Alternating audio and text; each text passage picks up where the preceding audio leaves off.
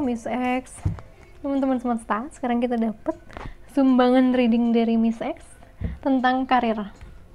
Jadi mau pindah kerja dari Hong Kong ke Australia. Kira-kira gimana? Di Australia ya? Oke kita ambil energi. Karirnya di Australia apa yang akan terjadi kalau Miss X pindah ke Australia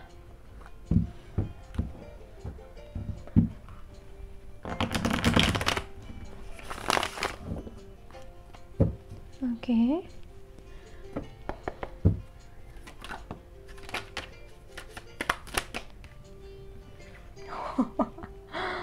Oke. Oh my god. Alright.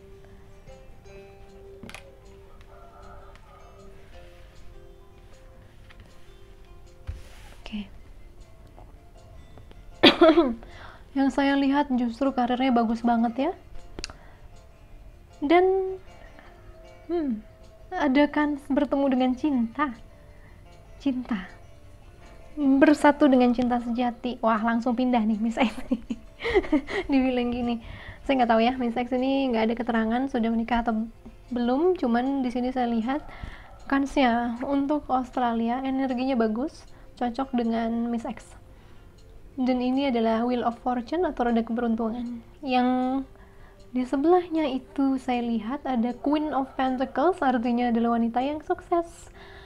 Ya ratu ratu pasti kaya ya apalagi ini ratu koin. Dia tenang dia makmur dia happy kalem. Di sini juga saya lihat action. Action dari tipe karir ataupun passion gairah dalam pekerjaan yang tinggi. Tahu maunya apa tahu gimana caranya dan tahu jalan untuk dapetinnya. Dan di bawah Wheel of Fortune ini saya lihat ada juga love. True love ada penawaran cinta ada persatuan cinta. Dan ada sun which is ini happiness. Ini juga ada kartu ayah ya. Um, biasanya sun itu melambangkan energi maskulin atau laki-laki moon itu ke energi bulan feminin nah ini ada dukungan ini ada kebahagiaan ada juga hmm, anak. Mungkin ya mungkin saat nanti sudah bersatu punya anak. Bagus ya buat berkembang keluarga berarti. Tapi di sini juga ada choices atau ini kartu lovers cinta juga ya romansa. Tapi di sini tidak terlalu stabil. Artinya dia ini masih butuh memilih. Butuh memilih. Jadi apa pun yang dipilih sama Miss X itu pasti terbaik. Dan ikuti kata hati tapi saya cuma informasikan bahwa di Australia ini bakal bagus. Masih ada pilihan yang harus dijalani. Mungkin nanti setelah semuanya settle, tantangan sudah ditaklukkan, terus juga sudah merasa menguasai kota ataupun menguasai bidang pekerjaannya, itu bisa pindah lagi ke tempat lain.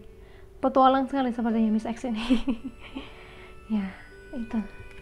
Coba kita lihat sekarang perbandingannya oleh gue minta bantuan dari saran Angel of Abundance ya malaikat anugerah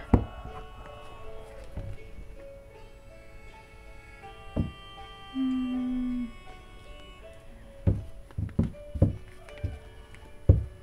pas banget ya gue buat kok playlistnya anak dan di sini ada anak tadi di sun oke okay. Angel of Abundance, mohon berikan saya perbandingan Hong Kong dan Australia untuk hmm, Miss X. Hong Kong, Hong Kong.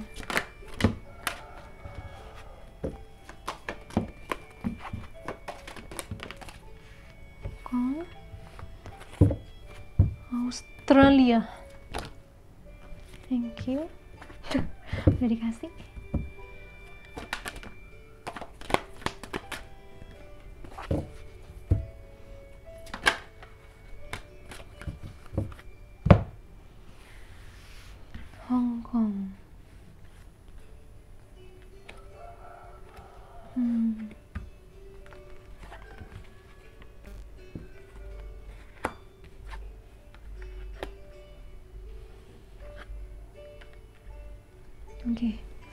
lebih banyak energi Australia ya. Di Hong Kong itu banyak sekali saya nggak tahu ini soal persaingan bisnis atau gimana. Cuman ada jealousy. Miss X merasakan bahwa dirinya kurang. Padahal itu nggak perlu ya. Yang namanya kita merasa kurang itu nggak perlu karena semesta itu punya banyak sumber daya untuk diberikan kepada setiap manusia. Beliau bisa buat jagat raya sebesar ini. Tentunya mau ngasih berapa miliar atau berapa triliun untuk satu orang itu sangat mungkin. Cuman gimana caranya untuk membuka itu? Di sana saya melihat hambatannya di situ. Di situ. Jadi ada kurang olahraga kurang bergerak badannya. Terus juga jadinya banyak tersumbat. Tersumbat dari sisi-sisi oh, bosen bosen di sana. Terus akhirnya tempat kerjanya tidak nyaman lagi tempat tinggalnya tidak nyaman lagi. Berlebihan penumpukan yang sudah mungkin belanja-belanja atau gimana di sana sudah terlalu berlebihan sehingga itu harus disumbangkan. Ada donation juga di sini. Di sini juga ada don donation ya so itu kuat. Butuh untuk berdonasi. Lebih lebih baik lagi karena banyak barang yang tidak terpakai atau skill yang tidak termanfaatkan kalau di Australia saya lihat di sini akan ada kesempatan tidak lagi jealous tapi bekerja sama cooperations instead of competitions. Jadi ini lebih kepada kerjasama dibandingkan persaingan. Organize for success masih ada masalah yang sama, kurang bisa mengorganisir, terutama soal pikirannya. Soal pikiran. Jangan biarkan istilah memanajemen atau mengatur membuatmu terintimidasi.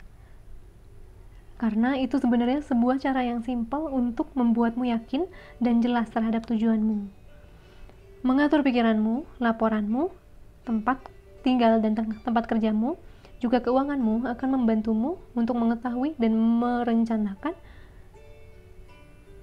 langkah selanjutnya. Oke. okay. Jadi di sini nanti udah mulai lebih baik saya lihat.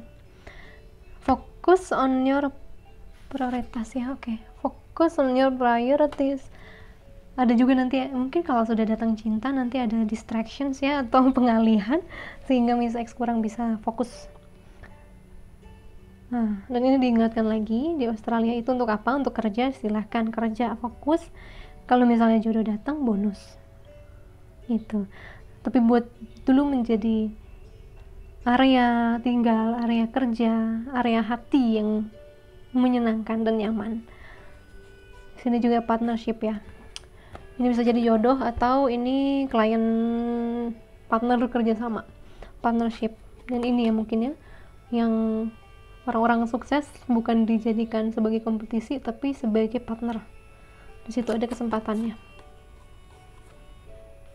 Saya bacakan ini ya izinkan kerjasama yang positif, sehat, masuk ke dalam hidupmu dan karirmu, karena keduanya akan diuntungkan dirimu mendapatkan banyak bantuan dari surga dan dari orang yang membawa kemampuan dan juga sumber daya yang kau butuhkan. Jadi hubungannya saling menguntungkan. Nanya ini di Australia udah gak ada komplain-komplain lagi. Komplain. Keluhan adalah afirmasi dari sikap merasa menjadi korban yang secara energi spiritual itu tidak boleh ambil lagi kekuatanmu yang sudah diberikan oleh Tuhan dengan mengafirmasi bahwa dirimu punya anugerah untuk memilih dan anugerah dalam kebebasan. Dengan meningkatnya percayaan dirimu dan teguhnya prinsipmu, lihatlah bahwa afirmasi positifmu akan berkembang menjadi kenyataan. Tumbuh menjadi kenyataan. so, Iya di sini saya melihat lebih condong ya pesannya lebih banyak jadi seperti lebih banyak kesempatan. Di Australia terus juga ada kan cinta. Saya nggak tahu ini cinta sejati atau partner atau gimana ya. Bisa juga itu cinta itu seperti kita dapetin jodoh rekan bisnis. Itu juga bisa karena itu jodoh-jodohan sama kayak kita cari rumah cari apa tuh jodoh-jodohan. Kalau misalnya Miss X ada panggilan ke Australia udah beberapa lama biasanya di situ memang diarahkan oleh alam oleh Tuhan. Karena ada something di sana. Something pelajaran diri apa. Jadi jangan emosi mengambil keputusannya. Dengerin aja dalam hati intuisi sama emosi kan saya udah jelaskan ya bedanya apa. Intuisi itu dari dalam hati datangnya dari perut pelan-pelan tidak tidak mengancam ya hanya kayak ngasih tahu pelan-pelan. Kalau emosi meledaknya di kepala. Itu eksplosif dia. Jadi gampang kita tertrigger itu emosi. Nah kalau ini pindah ke Australia ini adalah intuisi saya sarankan lihat dan bicarakan baik-baik dengan keluarga dan siapa pun yang akan keberatan dengan kepindahan ini atau benar-benar yakinin di Australia ada apa yang bisa menguatkan keinginan keputusan. Saya ambil saran dari Angel of Abundance masih malaikat uang ya. Anugerah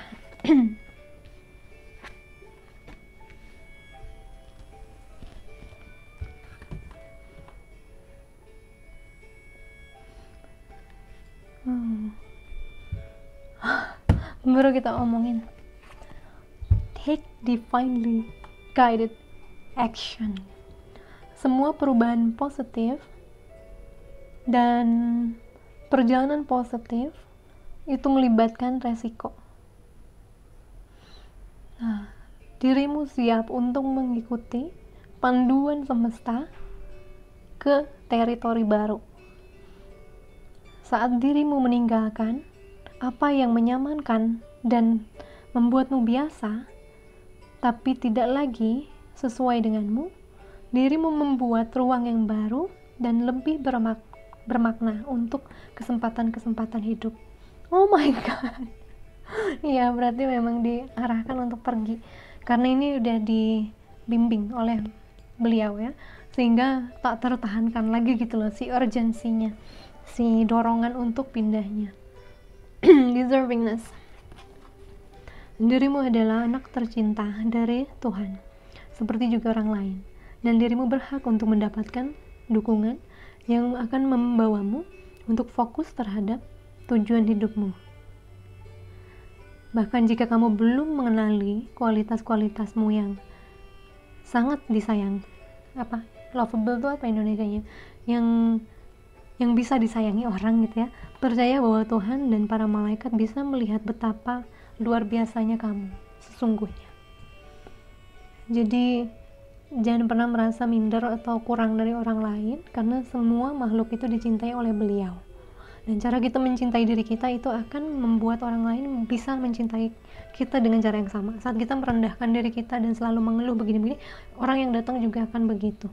Jadi untuk ini diminta untuk percaya diri dan juga sayangi diri. Sehingga orang lain juga akan tahu cara menyayangimu. Gitu. Mereka itu refleksi pantulan kita mencintai diri kita sendiri. Kalau kita nggak punya sikap yang baik terhadap diri sendiri biasanya kita menarik orang yang sama. Moonlighting.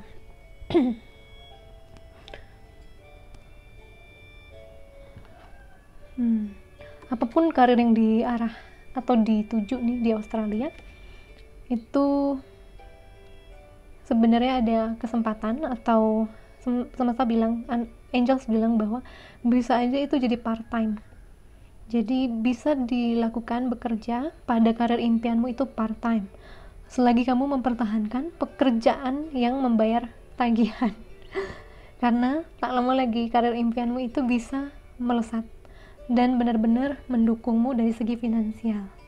Itu sarannya attracting not chasing. Oke. Okay. apa pun yang kita ke kita kejar itu bakal lari karena itu energi naturalnya daya tarik menarik ya. Nah di sini jadi kita diajarkan untuk lebih menarik. Kalaupun Miss X punya tujuan atau punya impian sesuatu jangan ngejar banget. Tarik tarik. Seperti ini sekarang harus tenang untuk mau pergi ke Australia oke? Okay? aku harus tenang putuskan. Nanti jalannya datang. Tapi kalau kita oh aku harus ke Australia gini, gini. Nah itu biasanya nanti mental-mental lari-lari.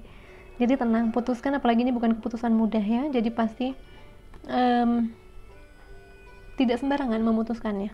Butuh ketenangan butuh pertimbangan yang banyak. Dan juga butuh persetujuan banyak orang biasanya kalau pindah begini. Teman-teman gimana nanti ditinggalin? Keluarga atau gimana yang ada di Hong Kong itu gimana? Nah itu juga harus dipertimbangkan.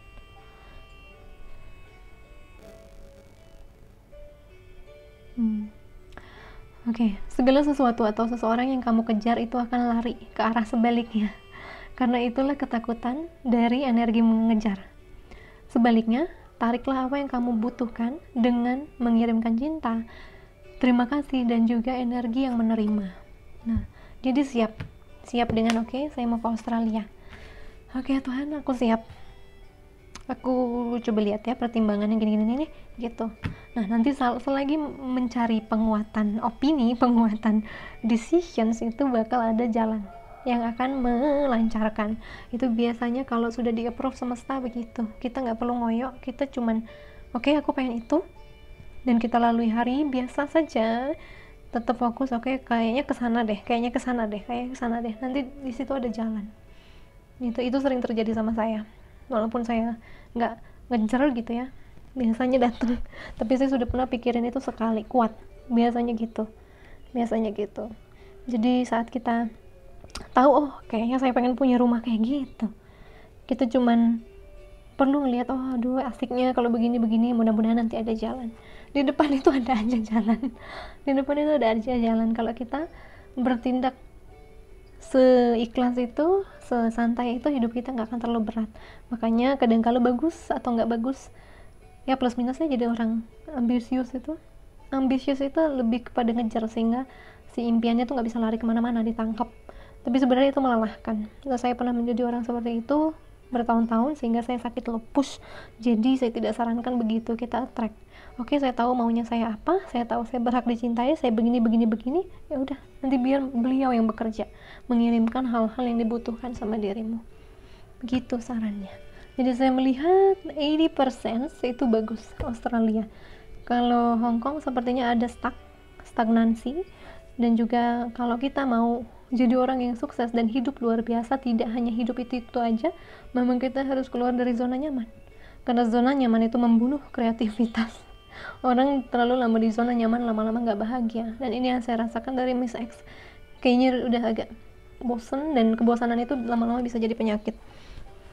Ada ya secapek-capeknya orang kalau dia mencintai pekerjaannya biasanya bakal happy aja badannya juga ikut happy. Itu. So Miss X itu readingan kamu. Semoga bisa mengambil keputusan yang terbaik ya. Saya doakan di mana pun karena energi rezekinya bagus kok hokinya bagus. So good luck for your new career and new apa ya kontinen Australia. Thank you so much for ordering ya. Sending it so much love for your like bye